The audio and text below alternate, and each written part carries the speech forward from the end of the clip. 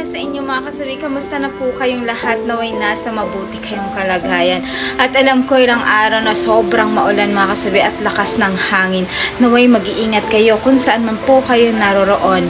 At syempre ang inyong advisor ay ilang araw din po na wala tayong topic dahil med- medyo masama po yung aking pakiramdam. At ngayon po ay babalik ulit tayo sa ating panibagong topic mga kasabi. At alam ko na maraming makaka-relate sa topic natin ngayong umaga mga kasawi.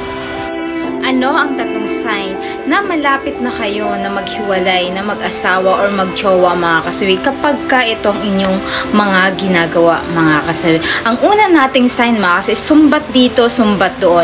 Alam nyo ba mga kasawi kapag once na kayo ay mag-asawa, kapag ka ganito yung inyong ginagawa palagi, na nagsusumbatan kayo sa isa't isa, na kahit ang daming nakakarinig mga kasawi na ibang tao, pero baliwala lang sa inyo, na napapahiya ninyo ang bawat isa mga kasawi.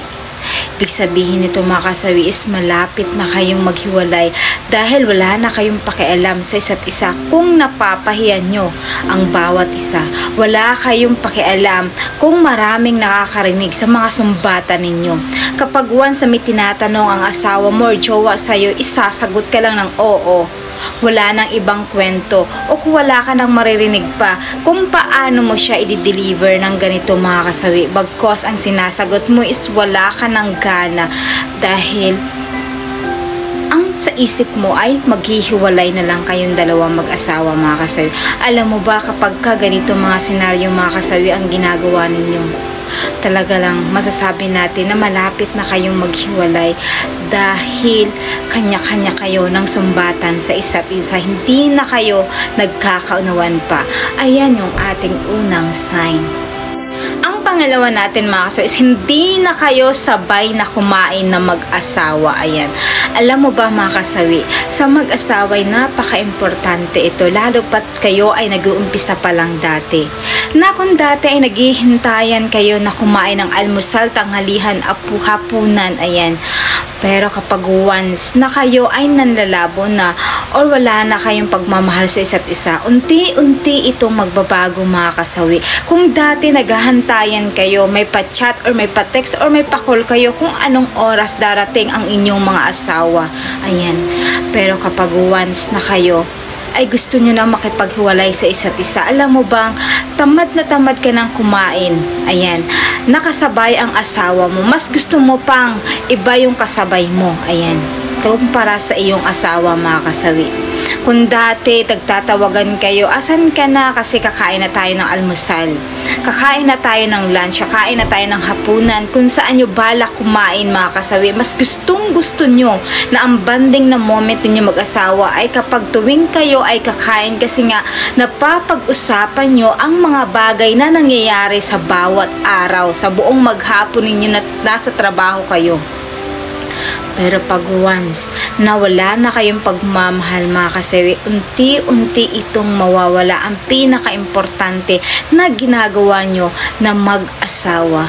Ayan yung ating pangalawang sign pangatlo nating sign mga kasawi is wala na kayong oras sa isa't isa. Ayan.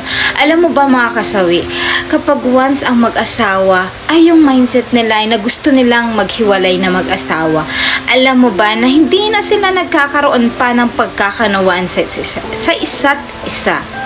Alam mo ba kung bakit mga kasawi? Alam mo yung mindset nila dahil gusto na nilang maghiwalay sa isa't isa. Feeling nila yun na yung solusyon para sa kanila. Yung pakikipaghiwalay mga kasawi.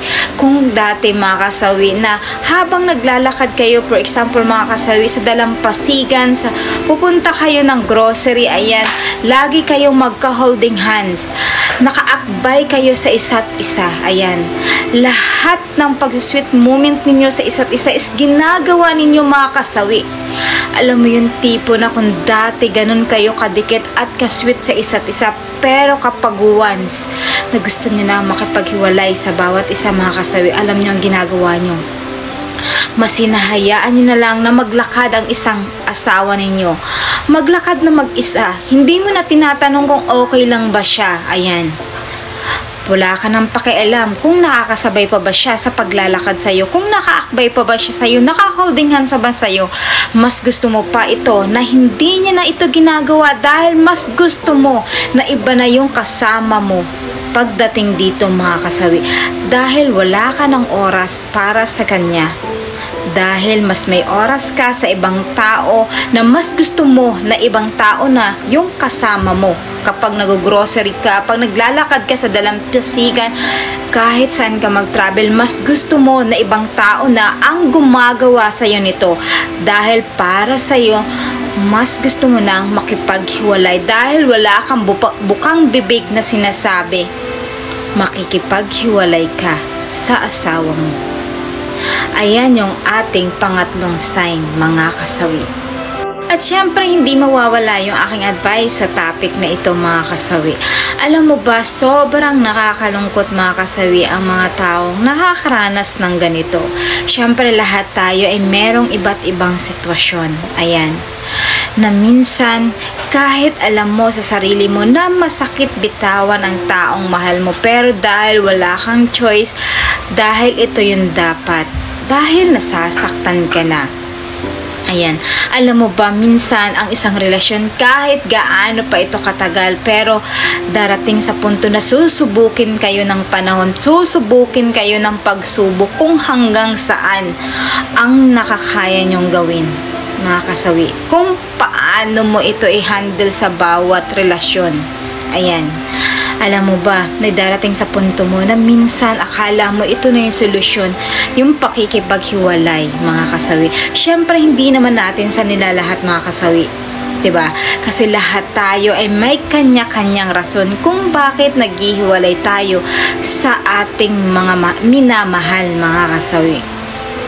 At syempre, bago natin ito gawin mga kasawi ang ganitong sitwasyon, kailangan isipin mo ng mabuti kung dapat ba, karapat dapat ba na dapat na siyang bitawan.